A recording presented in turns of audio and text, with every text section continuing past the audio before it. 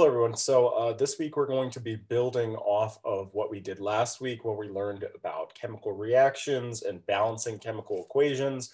Now we're going to be using these balanced chemical equations uh, to talk about reactions quantitatively. So for example, if I start out with 10 grams of reactant, how much product do I get? Okay, so that's kind of going to be the goal of this week.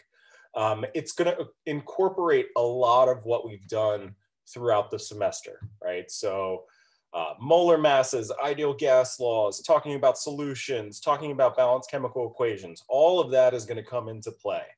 Um, so if you find yourself struggling, it's a good idea to go back to when these concepts were first introduced. And I'll do my best to point you to where those would be when we get to those particular types of problems. Uh, so the first thing we're going to talk about is the mole ratios, which is a quantity that we can get from our balanced chemical uh, equations. But before we do that, I actually just want to take a step back and um, sort of review a lot of what we've done that falls under this umbrella of stoichiometry. Uh, most of the chem most of the math that we do in a chemistry course we consider to be stoichiometry which is when you're paying attention not only to the values, but also to the units of these quantities that you're working with. Remember, we line them all up in such a way that our units cancel out nicely. So we've talked about a few different types of um, quantities, and I just kind of want to review real quick so we have it all in our brains. So the first thing that we actually discussed is using this constants page and doing conversions, right? So for example, if I wanted to go from inches to centimeters, I would take this piece of information here and I would create a conversion factor from it. So that would look like if I wanted to go from, whoops, that's not a thing, inches to centimeters, for example, I would look that up and I'd get this conversion factor that says, right, so if we go back here, 2.54 centimeters to one inch. And so how I would use that you know, I take that line and I would set up this conversion factor, 2.54 cm per one inch. I could use this to convert from inches to centimeters, or I could flip it upside down and this would allow me to convert from centimeters to inches, right? And you know which one to use based on the units. I, I, I want to stress this so so much in this in these types of math in the math that we do in chemistry are the units are so important. If your units all line up nicely and everything cancels out, that's great. That's how you know you've set it up correctly. Okay. So first we had these like conversion factors. Actually move this over here, set this down a little bit. Whoops. Ah. So these were these conversion factors that lets us jump from imperial to metric, right? So that was the first thing that we talked about was sort of uh, unit conversions. I guess we can be more specific, unit conversion factors, okay? We learned about these other quantities. So for example, density, the density of, you know, you could look it up for, it's different for each material. For example, for water, it's like 0.0998 grams per milliliter. And when you see something like this density, you want to immediately think of it in its math form and how you would use it as a conversion factor going from 0.998 grams per mil. This right here would help you jump from milliliters to grams or you could flip it upside down. And this right here would allow you to jump from grams to milliliters, right? So in much the same way that our unit conversion factors, this helped us go between inches and centimeters. Density allows us to go from grams, between grams and milliliters, okay? And hopefully, again, what I, I'm going over this and I want you to pay very close attention to the units. That's what really matters here, right? Likewise, we talked about molar, that's not how you spell that, molar mass. So for example, if I go to my periodic table, I can look up the molar mass for neon. I have this number 20.1797. Oops.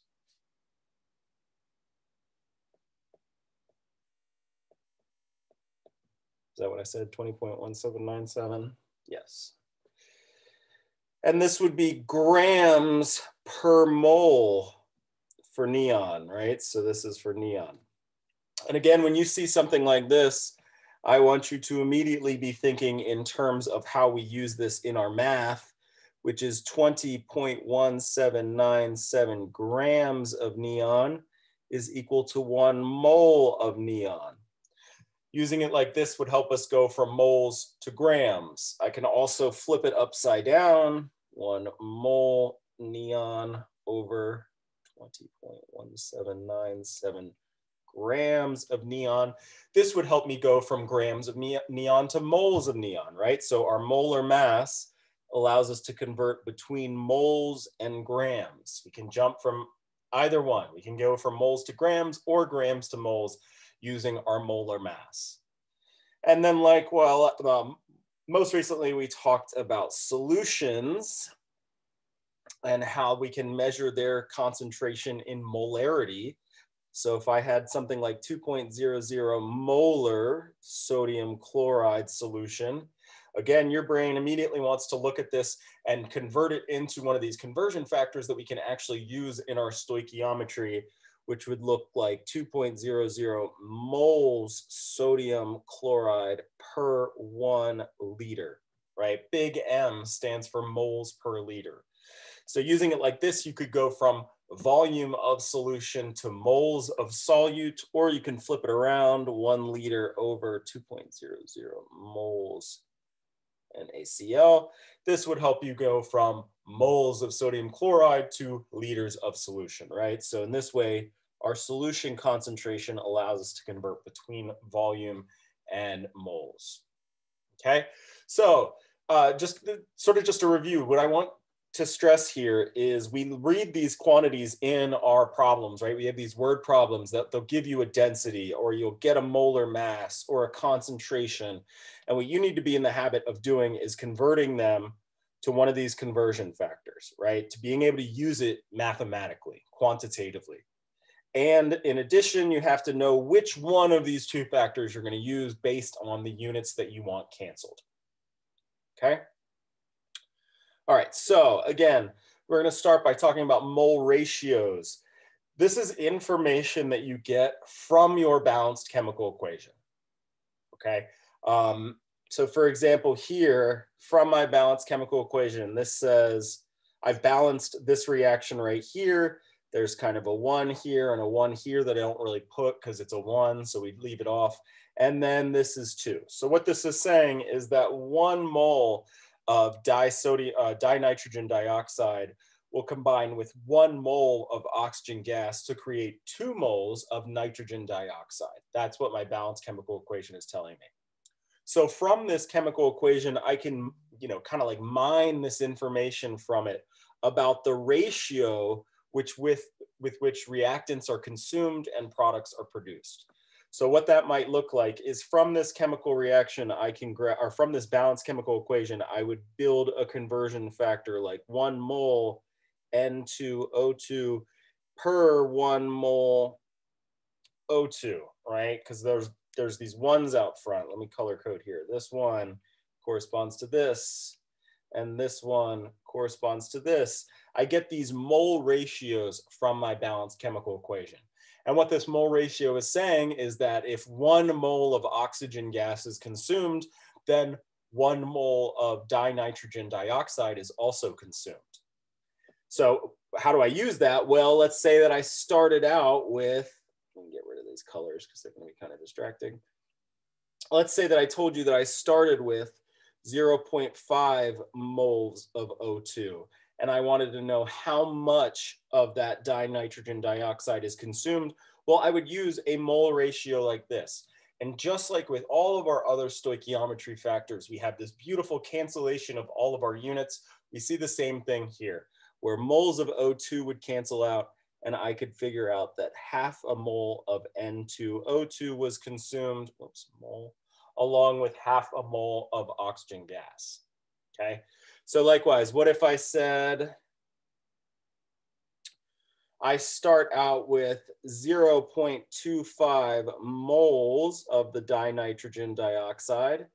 And I wanna know, all right, how many moles of nitrogen dioxide are produced? Right, that's kind of the kind of question that we're gonna be asked in this chapter. Well, I know that I start out with 0.25 moles of N2O2. And then I need to jump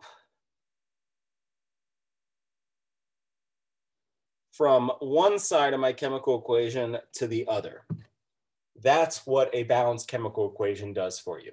From this balanced chemical equation, I can get that mole ratio that tells me that one mole of N2O2 will be consumed and generate two moles of nitrogen dioxide. And now I can punch it into my calculator just like I would any other problem.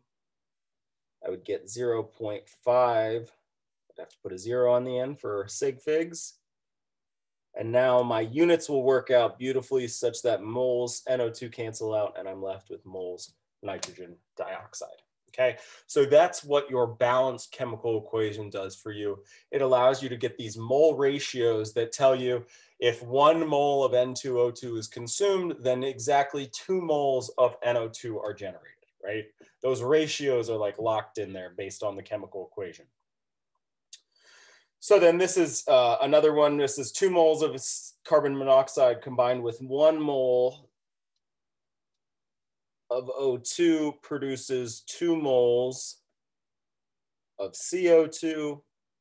And then we've, so what we sort of see here is they've mined this information as a way to convert from carbon monoxide to carbon dioxide. So you see two moles of carbon monoxide per two moles of carbon dioxide, or just like all of our other conversion factors that we talked about, you can flip it depending on which direction you're trying to go and go from moles carbon dioxide and uh, rather two moles carbon dioxide per two moles carbon monoxide.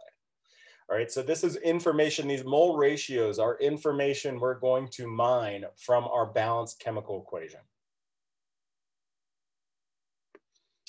All right, so urea can be synthesized in the laboratory by combining ammonia and carbon dioxide according to this equation. Uh, and they've given us this a chemical equation and they've even balanced it for us, right? That might not be the case. It might be the case that we'd have to go in and balance it.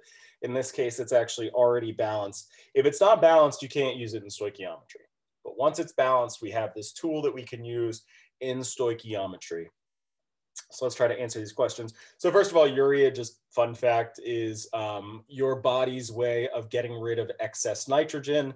It converts it to urea, and then urea is something that you uh, excrete through your urine, actually. So a lot of your nitrogen waste products end up going through what's called the urea cycle, generating this guy right here, and then it leaves your body. Okay, so we're gonna calculate the amount of urea. So we wanna know how much of this is going to be produced if 5.2 moles of ammonia are consumed. All right, so this is what we're gonna start with. 5.25, oh, 5.25, sorry, 5.25 moles of ammonia. Get to my calculator here. Okay. So 5.25 moles of ammonia. And then we want to bounce from one side of our chemical equation to another compound, right? So for that, we're going to use the mole ratio that we get from our balanced chemical equation, which tells me that two moles of ammonia are consumed to produce one mole of urea. I'm just gonna write it out as urea because it's gonna save me some time. So then we punch that into our calculator just like we would for all of the other type of calculations you do. 5.25 divided by two times one You can even leave out the times one because of course that just makes it itself. And the calculator spits out 2.625. Now we're gonna go back and pay attention to units. Moles of ammonia cancel out and we're left with moles urea, which is good, that's what we want. And then as always, we have sig figs to worry about. There are three sig figs. Actually use a different color. Three sig figs in this. These mole ratios are exact. So you don't pay attention to them when you're looking at sig figs.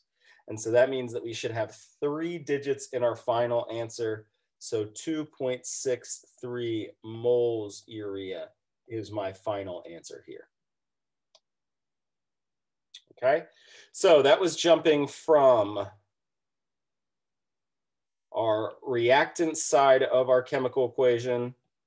We wanted to go from the amount of ammonia to the amount of urea, right? And again, kind of how you would think about it is that's how much urea would be produced if 5.25 moles of ammonia were consumed all right, because I'm going from reactants to products. This next reaction, or this next problem, asked me to determine the stoichiometric amount of carbon dioxide required to react with 5.25 moles of ammonia. So now these are on the same side, they're both reactants. And so it's asking if 5.25 moles of ammonia are consumed, how much carbon dioxide is going to be consumed as well right? Anything on the reactant side gets consumed, anything on the product side gets produced. Mathematically, the way that we set it up is the exact same uh, as we did before. We're gonna start out with the amount of ammonia we have, moles ammonia, and now we're going to use the mole ratio we get from our balanced chemical equation, which says that there are two moles of ammonia consumed per mole of CO2 consumed. So again, I'm gonna punch that into my calculator. I get six, uh, 2.625. I'm gonna go back and pay attention to units. Moles of ammonia cancel out. I'm left with moles of CO2, which is good. That's what I want. And then I'm gonna go through and pay attention to sig figs. I have three sig figs here. I don't have to pay attention to mole ratios when I'm doing my sig figs. So that means I should have three sig figs in my final answer. So 2.63 moles of CO2.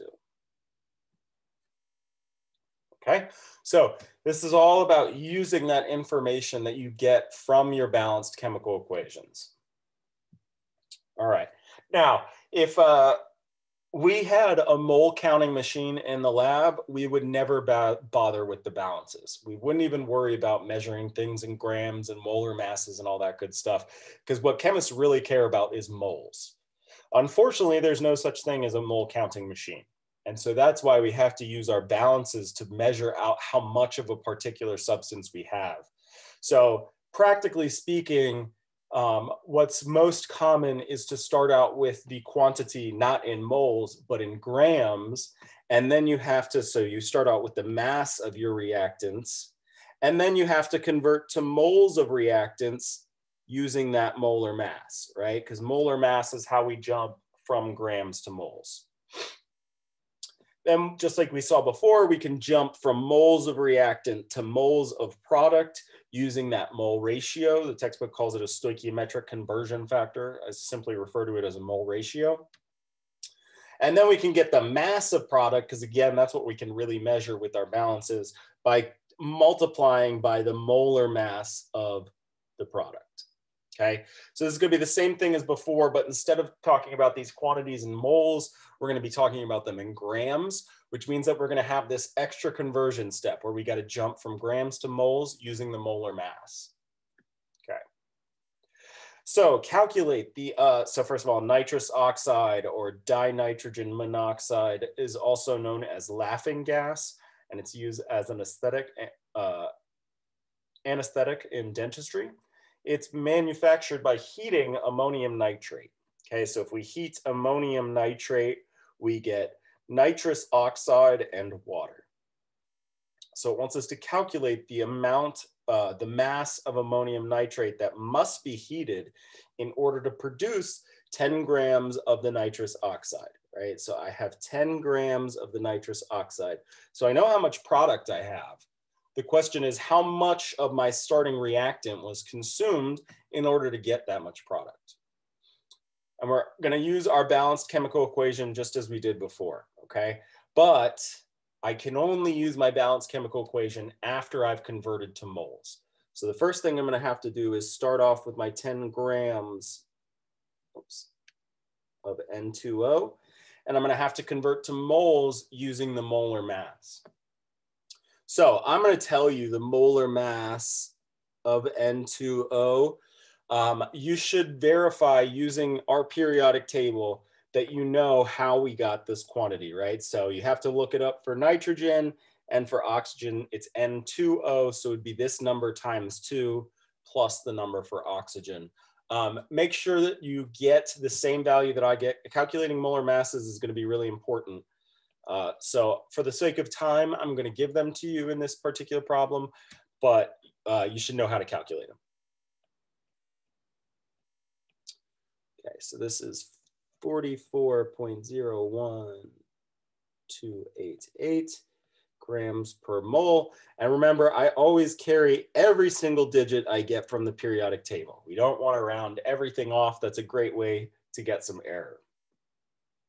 So in order to go from grams to moles, I'm going to use my molar mass, which tells me that 44.01288 grams of N2O are in one mole of N2O.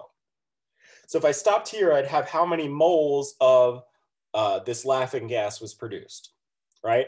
Now I wanna jump from one quantity on my chemical equation to another which means that I'm going to use that mole ratio. In this case, it's just one to one. So one mole of N2O would give me one mole of NH4NO3. Okay, so if I stop there, I'd have how many moles of my ammonium nitrate were consumed, but it asked me for the mass of ammonium nitrate which means that I'm going to need to use the molar mass in order to jump from moles to grams. So again, uh, I would be able to calculate this by looking at the periodic table. I'm going to go fast, just uh, or give it to you rather, just for the sake of time. 80 point.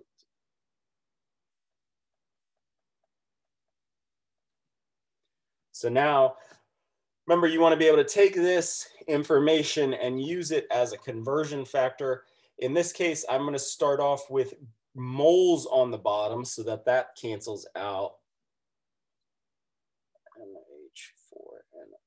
NH4NO3 is 80.04344 grams ammonium nitrate. Um, notice how, so first of all, uh, I want to point out one thing real quick. Notice how I'm labeling not just moles, but moles of ammonium nitrate, not just grams, but gram, that wasn't ammonium nitrate, sorry, not just moles, but moles of um, laughing gas or nitrous oxide, not just grams, but grams of nitrous oxide, right? Because this is a great way to keep your quantities straight. I know that everybody's keen on writing less, and so it's really tempting to uh, try to abbreviate and write as little as possible trust me when I say that paying attention to units is the most important part of stoichiometry. So yes, it takes a little bit more writing to write moles N2O as opposed to just moles, but trust me, it's a great way to keep this straight and an easy way to avoid making stupid mistakes.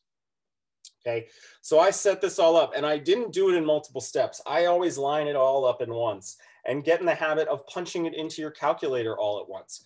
You can do these in individual steps. I could stop here you know, stop, ignore this part and first calculate moles, then include this term and then calculate, uh, get to moles of ammonium nitrate. But if you get in the habit of punching it into your calculator all in one shot, number one, you'll save time, right? Because you're not writing down the number that you get from each individual step. Number two, it's, a, it's much more likely that you won't make a stupid mistake. Doing it in multiple steps people are very it, it's quite common that somebody forgets a number or forgets a digit somewhere and it messes everything up down the line.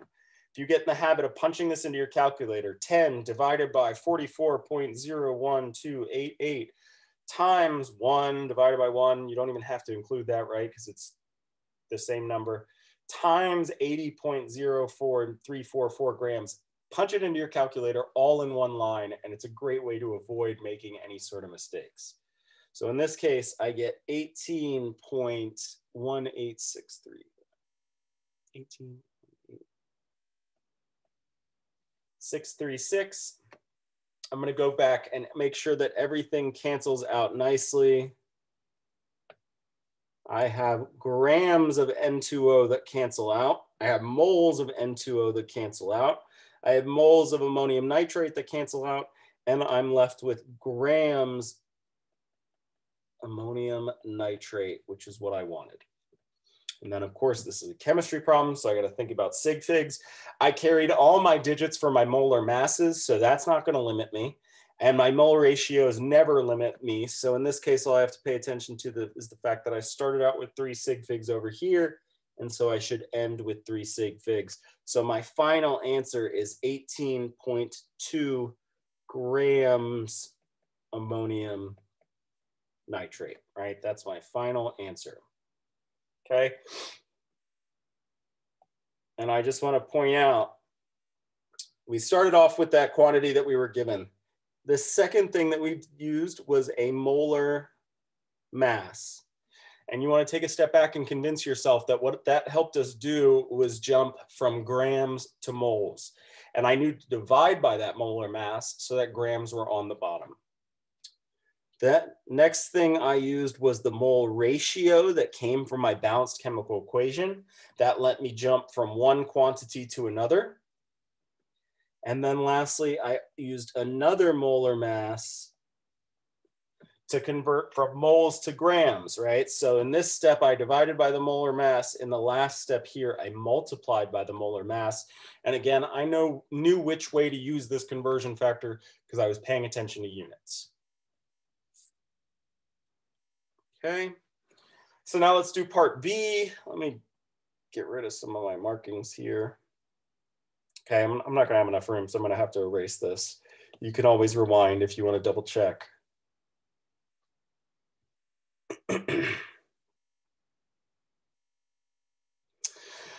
Now I want to figure out how much, determine the corresponding mass of water produced in this reaction. So again, I'm saying that I had 10 grams of nitrous oxide that was produced. That's this one here.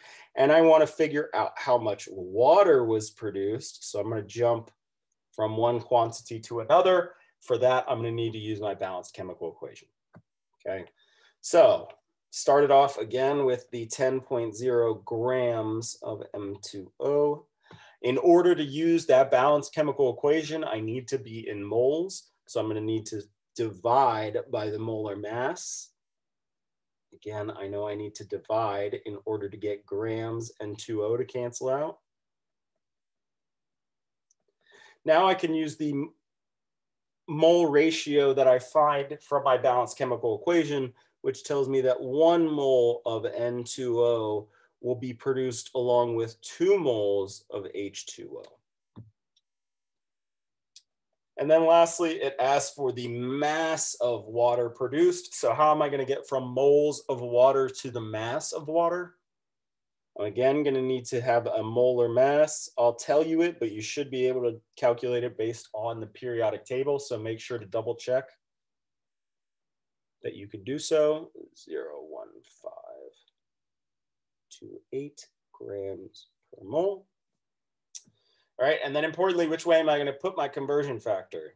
I'm gonna make sure that moles of H2O are on the bottom and that 18.01528 grams of H2O are on the top. And again, I'm not just writing moles and grams, I'm writing grams of H2O over moles of H2O. I'm being very specific. Okay, so again, get, get it in the habit of punching this into your calculator all in one line. 10 divided by 44.01288 times 2 times 18.01528. Punch that into my calculator. I get 8.18636. go back and paying attention to units, grams of N2O cancel, moles of N2O cancel, moles of H2O cancel, and I'm left with grams of H2O, which is what I want. And then because this is a chemistry class, we can't stop there. We have to worry about sig figs. Um, again, because I took all the digits from my periodic table, I'm not gonna have to worry about my molar mass limiting me. Mole ratios are exact, so they never limit. So this is again, three sig figs. I have to round this off to eight, oops, 8.19 grams H2O. That's my final answer. So if 10 grams of nitrous oxide is produced in this reaction, then 8.19 grams of water is produced in this reaction.